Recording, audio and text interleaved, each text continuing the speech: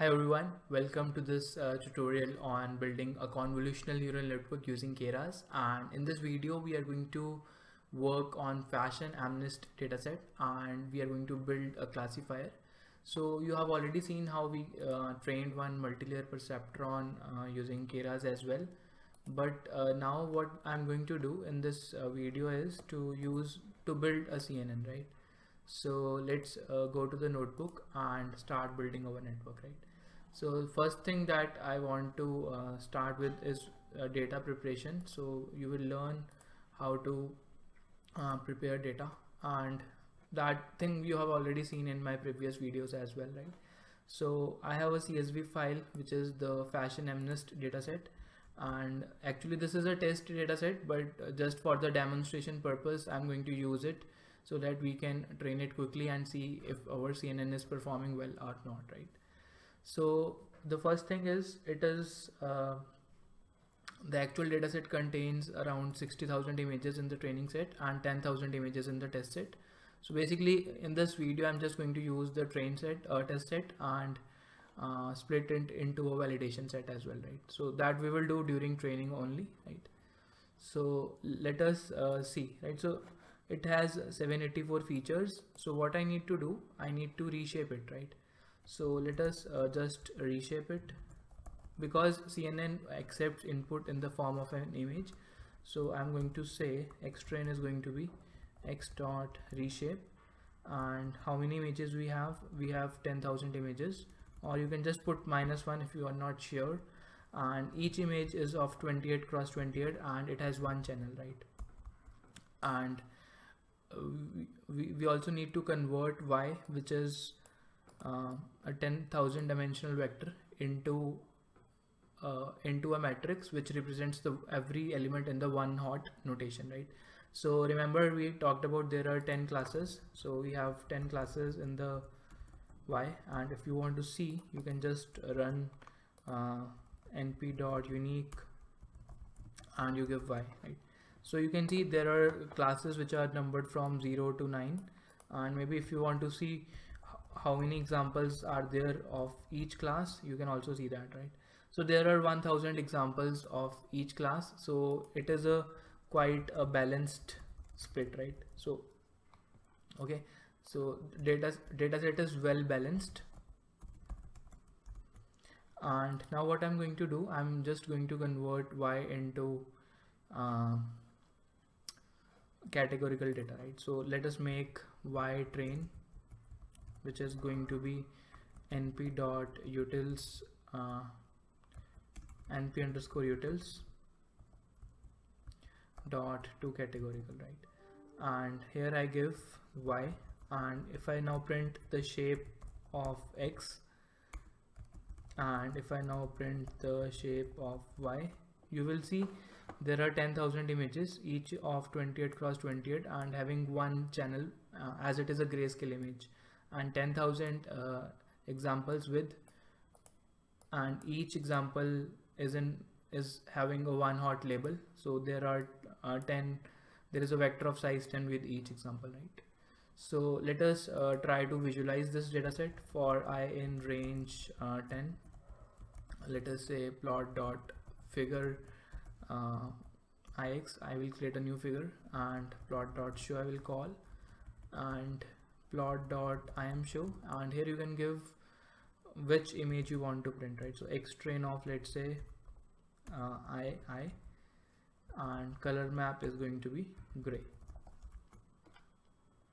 Okay plot is not defined so let us uh, import matplotlib.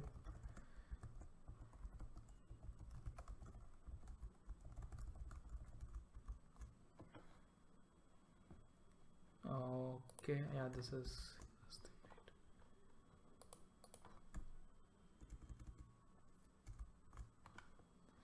so what is the error? Invalid uh, dimensions. Okay. So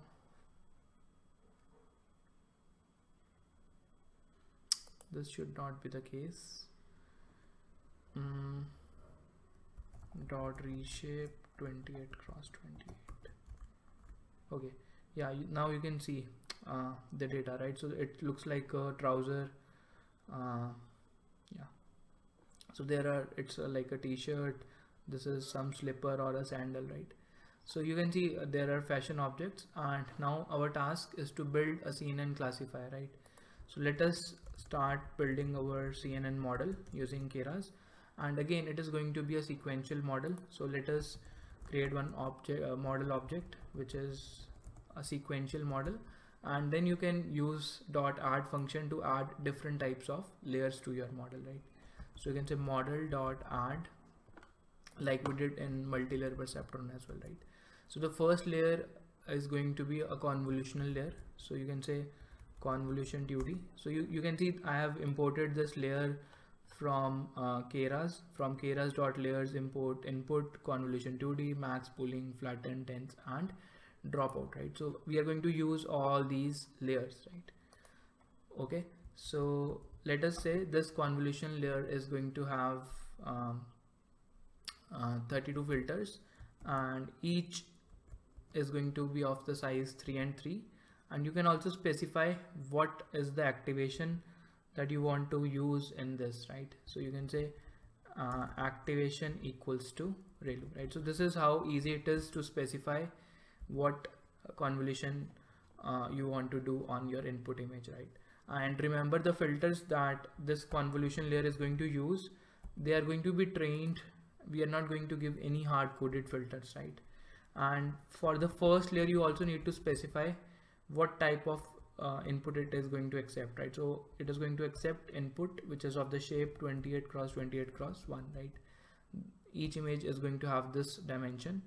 And after that maybe I can add one more convolution layer which is let's say now having 64 filters and each filter of 3 and 3 cross 3 and followed by the same activation. And for all other layers you do not need to specify what is the input because it knows to or how, or how to automatically get the input from the previous layer right? And one more thing that we can add is we can add one dropout layer right? So dropout equals to 0.25 which means we are randomly going to drop 25% of the neurons from the previous layer right? And after the conv layer I'm going to add max pooling layer. So it is created like this. So you know there are uh, no filters in this layer but you have to specify the filter size and uh, stride right? So it is going to be 2 comma 2 right? And then you add model dot add let's add another convolution layer right? Which is going to accept 32 filters which is going to apply 32 filters. Each filter is going to be of the size 5 cross 5 followed by some activation. Let's say the activation is again ReLU right? And then let's add one more conv layer right? So let's say um, this time uh, we are going to have eight filters each of the size 5 cross 5 and after the convolution layer you can maybe add another pooling layer or you can just uh, add a flatten layer right? So flatten is actually not a layer. It is just a kind of a reshape function. It is going to uh, make your volume which is a 3D, 3D volume into a linear layer right? And then I'm going to connect them with with a, a dense layer which has 10 neurons so that we can predict outputs for 10 classes followed by activation which is equal to softmax right? And that's it right? So uh, this is like one type of a model right? So there are no hard and fast rule what to put after what. So it's totally your choice right? So I, I, I decided to create this kind of architecture so I made this. But you can also have a look at what people are using these days. Not every architecture is going to work but uh, by looking at different type of architectures examples on the internet you will get to know how to use uh, these layers right? So in general you will have a conv layer followed by some pooling layer then maybe more con convolution layers. With a bigger filter size this is generally what we do. And then you add a flatten layer dense layer and you can just print the summary right? So you can see right? And you can also see what is the output shape. So initially from 28 cross 28 we get 26 cross 26 because we are using a 3 cross 3 filter and we have already seen uh, how how the fil applying filter reduces the size. So it becomes 28 minus 3 plus 1, which is 26 cross 26. Then again, I apply this filter, which is which makes the size as 24 cross 24 because we are not using any extra padding, right? And then it goes through dropout. So dropout does not change the shape. And we go to max pooling, another convolution, another convolution, and finally a flatten. And then it is connected with a dense layer which gives probabilities in the um, among the 10 classes right? And the good thing is you have reduced your parameters a lot right? So you have only 77,000 parameters and this dataset has almost 70,000 examples right? Which means it is very unlikely to do overfitting right? And we are also using dropouts which also adds as a regularizer and prevents overfitting right? And these are the parameters you can see associated with every layer. So all right so model is now ready and next step is to uh, compile our model and to train it right? So before training we need to compile every keras model by defining how the training should proceed right? What should be the loss function what should be the optimizer what should be the matrix. So loss in this case is going to be a categorical cross entropy.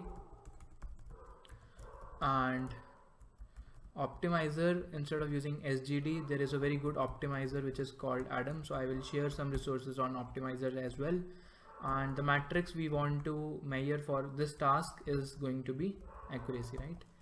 So let us compile the model and finally let us do the training right? So let's uh, generate one history object which is model dot fit and here you give x train y train followed by number of epochs. Let's say I train it for 20 epochs shuffle equals to true which means we are going to randomly shuffle our data during training.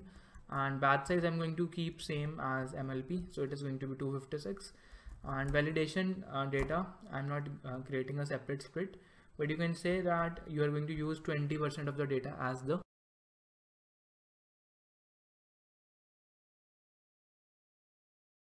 okay so we got one error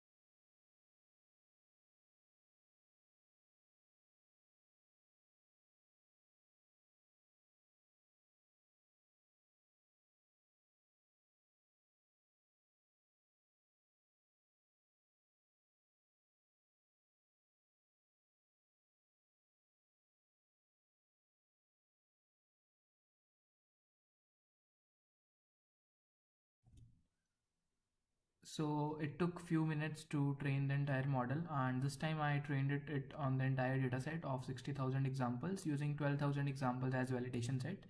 So the results which we got are quite good and I just trained it over 10 epochs. So we got around 90% training accuracy and around 90.49% of validation accuracy. And then I plot these results, you can see that these are quite good. And the loss training and the validation loss is continuously decreasing.